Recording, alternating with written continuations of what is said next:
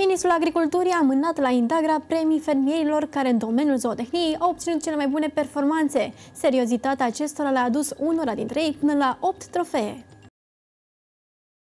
Eforturile făcute de fermierii din sectorul zootehnic au fost răsplătite simbolic în cadrul târgului Indagra printr-o festivitate de premiere. Diplomele pe care le-au primit au fost acordate pentru creșterea producției de lapte și pentru genetica foarte bună la rase cunoscute în toată Europa. Acestea au fost oferite chiar de ministrul agriculturii. E greu să-i recompensez pentru activitatea dânșilor, probabil că trebuia să fie cupele din aur, nu din uh, metal simplu.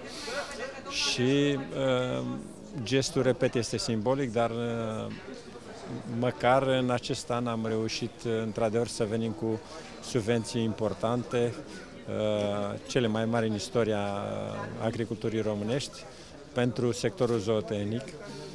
În altă ordine de idei, sigur că uh, se convine în continuare să promovăm produsele românești, pentru că zootehnica, să nu uităm, uh, reușește să producă odată produse cu valoare adăugată mare și ne-am dorit ca România să nu mai importe uh, sau să reducă foarte mult importurile la uh, produsele din zootehnie. Să nu uităm că anual, în contextul crizei laptelui pe piața europeană, uh, România a importat circa 10-15% lapte din alte state și avem un lapte de foarte bună calitate în România, iar la, la carne, sigur că încă uh, mai trebuie să mai uh, accentuăm pe rasele de carne și la bovine și la ovine, chiar dacă avem uh, produse foarte bune și naționale,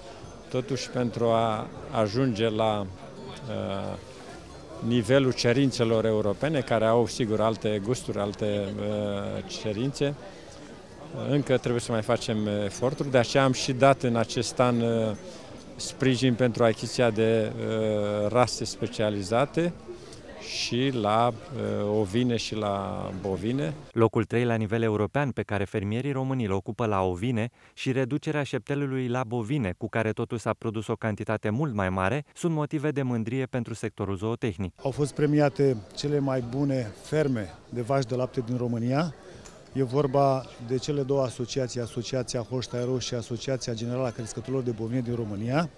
În cadrul acelor asociații au fost premiate primele 10 ferme ca performanță și ca producții în, uh, din cadrul asociațiilor.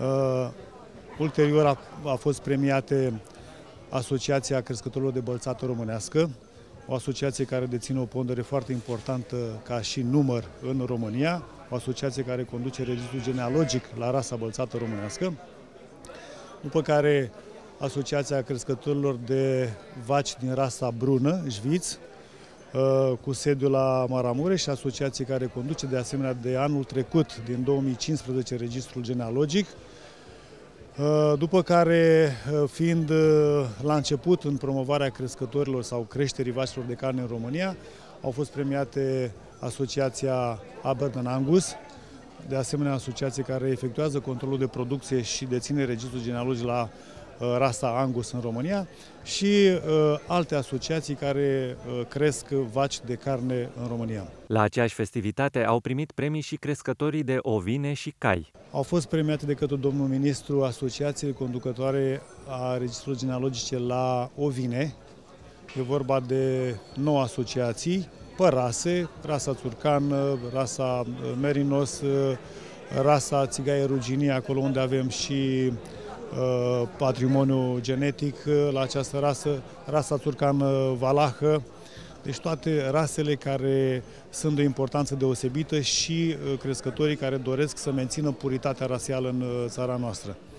De asemenea, Uh, au fost premiați crescătorii de hai, de cai din România, cei care cresc uh, animale de rasă și uh, pe ultimul loc, dar uh, asta nu înseamnă că nu e de importanță deosebită, o cooperativă uh, pentru creșterea albinelor, Apis mellifera carpatica din țara noastră. La acest târg s-a vorbit de bălțata românească. Chiar a fost premiată, dar nu am văzut niciun exemplar. Asociația este înființată în, din, în 2011 și conducem registrul genealogic pentru rasa bălțată românească din 2011.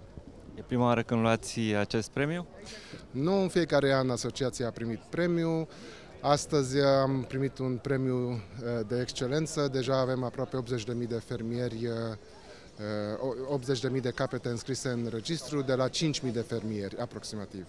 Rasa bălțată românească este o rasă autohtonă, este cea mai răspândită pe teritoriul României. Avem un efectiv matcă la nivel de România de 600.000 de capete. Practic este cea mai mare populație de bovine. Ca atare, este meritul asociației ca să organizeze fermierii să efectueze controlul oficial al performanțelor la lapte și să deținem și să conducem registrul genealogic. Anul ăsta bălțata românească nu este prezentă la expoziția Indagra. A fost un, uh, o decizie luată de către cei de la Romexpro prin care, prin care uh, nu au acceptat condițiile noastre. Uh, noi am vrut să fim prezenți cu 300 de capete la această expoziție, să facem din Indagra o expoziție într-adevăr internațională axată și pe sectorul zootehnic, dar nu am găsit deschidere la directorul general de la Romexpo. Ca atare, anul ăsta nu vom participa, n-am participat. Media producției pentru o vacă de lapte în țările europene este de 8 tone în Germania și de 9 tone în Danemarca. Românii în fermele comerciale au reușit să producă între 9 și 10 tone.